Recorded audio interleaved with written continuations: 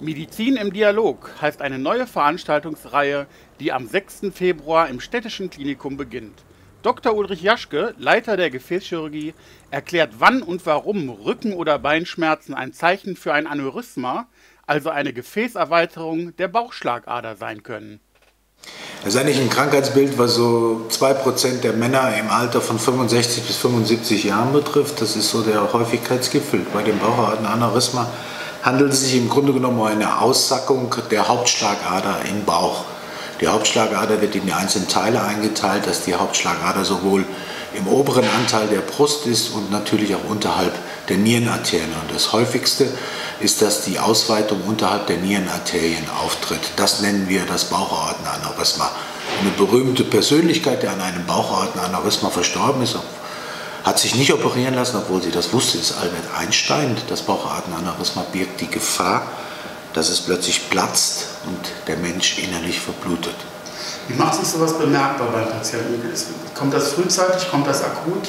Mm, das sind so die Unterschiede. Wenn es akut kommt, ist es schon sehr groß, das Bauchadenaneurysma. Dann merken Sie nur einen Schmerz im Rückenbereich.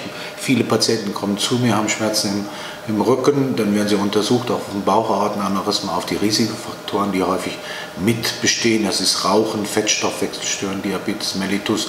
Natürlich auch eine genetische Bedingung, die vorherrschen kann bei den Patienten. Und klar, natürlich das männliche Geschlecht ist häufiger betroffen als das weibliche Geschlecht. Schmerzen im Rücken treten auf, es können auch schon mal Schmerzen in den Beinen auftreten, weil so ein Aneurysma häufig auch kleine Blutgerinnsel innerhalb des Sackes sind, die von dem Blutstrom ausgespült werden und dann zu Verschlüssen in den Beinen führen können. Dann kommt ein Patient und sagt ganz normal, ich kann nicht mehr gehen, nach 50, 100 Metern. Deshalb gehört bei jedem Patienten, der mit Durchblutungsstörungen zu uns kommt, der Ultraschall, um das Bauchaortenaneurysma auszuschließen, was einfach mit einem Ultraschall zu machen ist. Welche therapeutischen Möglichkeiten haben Sie hier im Klinikum Solingen?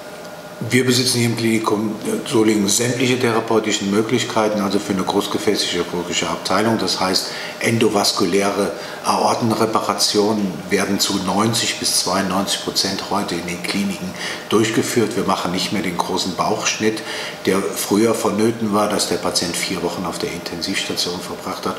Heute machen wir das endovaskuläre Verfahren.